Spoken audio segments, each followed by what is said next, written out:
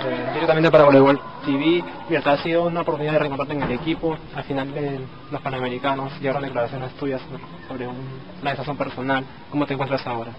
Bueno, me encuentro bien, ¿no? Con ganas de, de empezar esta nueva etapa hasta el sudamericano, tratar de hacer lo mejor que puedo y demostrar que yo puedo, puedo estar en el equipo principal, ¿no? Y si no, ser una buena alternativa.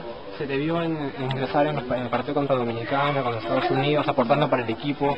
¿Fue motivador para ustedes obtener ese cuarto lugar en, los Juegos Panamericanos? ¿Cómo tomaron ustedes esto? Bueno, no sé si motivador, yo creo que pudimos agarrar la medalla de bronce, ¿no? No se dio porque creo que no, no fue un buen partido para nosotras, o sea, yo creo que la medalla la tuvimos al, al alcance de la mano, pero bueno, contentas de haber logrado el, el cuarto puesto, ¿no? Porque nadie pensaba que íbamos a llegar a, a la, bueno, a la semifinal, a la final de para agarrar una medalla, ¿no? Y bueno, contenta con la participación del equipo, pero sé que podemos mejorar más. Fue difícil sobre todo para ustedes teniendo en cuenta que jugaron un día, el día anterior hasta muy tarde en la noche y tuvieron que jugar el primer partido muy temprano en la mañana. Sin embargo, la televisión felizmente nos trajo imágenes de ustedes, del camino desde el hotel hacia el... y se les vio muy animados. ¿Cómo va el ánimo del equipo a pesar de, que no son tantas las jugadoras ustedes?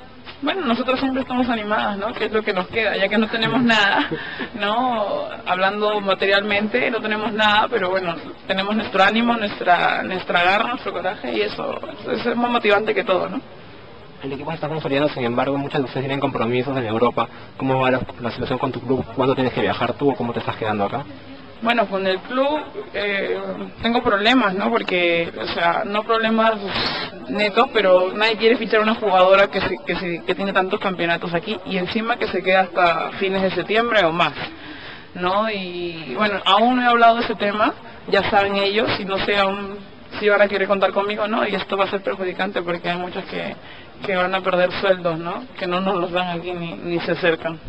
Eh, No, no estoy firmado finalmente por tu club. O sea, yo ya tengo el acuerdo hecho, tengo mi contrato, pero no he firmado, no les he mandado el contrato firmado.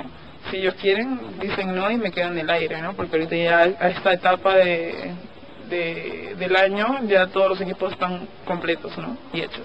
El año 2006, este, nosotros comentábamos, tú eres una jugadora que hace más de regular desde el 2002 titular en el equipo de los 16 años y has podido jugar un mundial y se te vio mostrando tu juego. Es Beijing 2008 en las Olimpiadas, una oportunidad de jugar un juego olímpico. ¿Es motivador para ti seguir acá trabajando?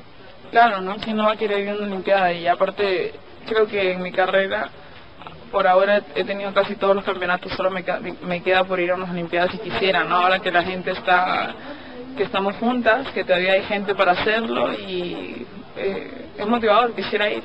Yo conversaba con, con el entrenador Enio cuando ustedes regresaban de la Copa Panamericana sobre por qué no estabas alternando regularmente el equipo. Me decía que se necesitaba conversar contigo. Te lo pregunté en el Mariscal si él había hablado contigo. ¿Él ha conversado contigo en algún momento personalmente o solamente ha sido siempre con el equipo junto? No, él siempre ha conversado con, con el equipo, ¿no? Yo creo que, no sé, tal vez no, no hay la confianza, pero yo voy a esperar, ahora es una nueva etapa, de ver si, si yo me siento alta y estoy bien en un nivel, y si no, con- no me considera, pues hablaré con él. Mucha gente estuvo al pendiente de eso, has recibido apoyos mediante mensajes en el internet, mensajes personales incluso en algunos partidos para usted. ¿Cómo tomas tú? ¿Qué mensaje das a la gente que está la expectativa de tu participación? No, muchas gracias, ¿no? Imagínate cómo me siento yo emocionadísima de que la gente esté siguiendo mi carrera, de que ellos crean que, que debería participar más en el equipo y de que vayan al mariscal y me apoyen, ¿no? Y no solamente así, ya han habido hasta concursos por internet y toda la gente me ha estado apoyando y estoy muy contenta con ellos. Para cerrar la nota, este, tu hermana Daniela, si no me equivoco, también es una chica que está empezando en el voleibol. ¿Cómo la ves tú a ella? ¿Qué, qué conversa contigo? ¿Cómo finalmente tienes contacto con ella? Bueno, Daniela es mi hermanita, ¿no? Y está empezando, tiene 13 años, yo le veo mucha, mucha, mucho futuro. Es una niña de un metro ochenta o más. Y nada, ella, ella sigue su pupila, ¿no? Porque ese, es- soy su imagen, pues, para ella.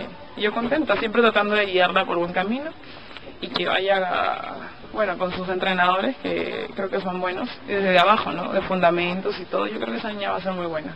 Ojalá que las condiciones se den para que tú desarrolles personalmente profesionalmente en tu carrera, que te consolides en tu equipo. La Liga Española es una liga que cada vez se pone mucho más fuerte. Y ojalá que son otros finalmente el equipo en la selección. La mejor de las suertes. Las últimas palabras para la gente que espera un saludo tuyo o algunas palabras tuyas. Bueno, nada, muchas gracias a toda la gente que ha estado siguiendo nuestra nuestra trayectoria, que sigue mi carrera, porque sé que hay mucha gente que me sigue. Y nada, agradecerle que sigan con nosotras, ¿no? Muchas gracias.